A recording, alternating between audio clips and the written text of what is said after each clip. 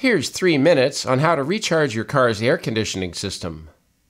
The equipment you need are safety goggles, gloves, recharging fluid that matches the specifications for your vehicle, the filling valve with a pressure gauge and quick disconnect, and optionally a temperature probe or thermometer.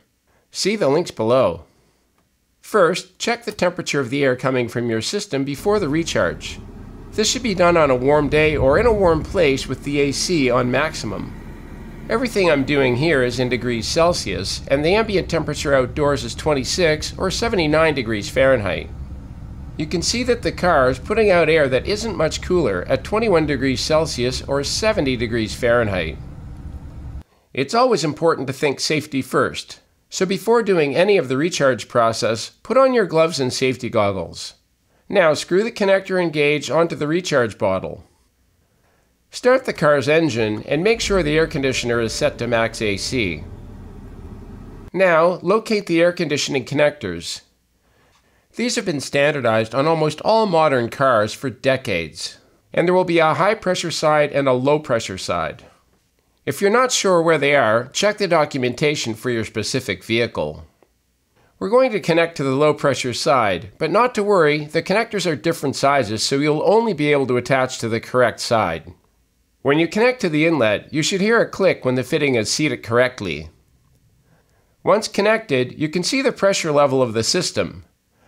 The target is to be well up into the blue area on this gauge, and you'll see here that the pressure is well down below that. Give the can a good shake to mix the lubricants that are also in the can. Once shaken, pull the trigger for 5 or 6 seconds. Give the system several seconds to absorb the charge and check the pressure gauge again. It looks like that's all it took to get high up into the blue area, so it's time to measure the temperature and see how well it worked.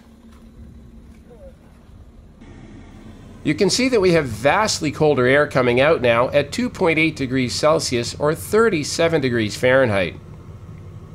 Now return to the front of the car and simply remove the quick connect attachment by pulling up on its collar. Replace the cap, and you are finished.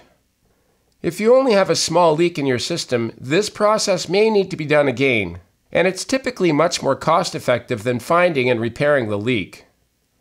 You can also purchase refrigerants that have dyes included to help locate leaks or leak sealers that may solve the problem long term. I hope this video helps you, and please do like and subscribe. Thanks.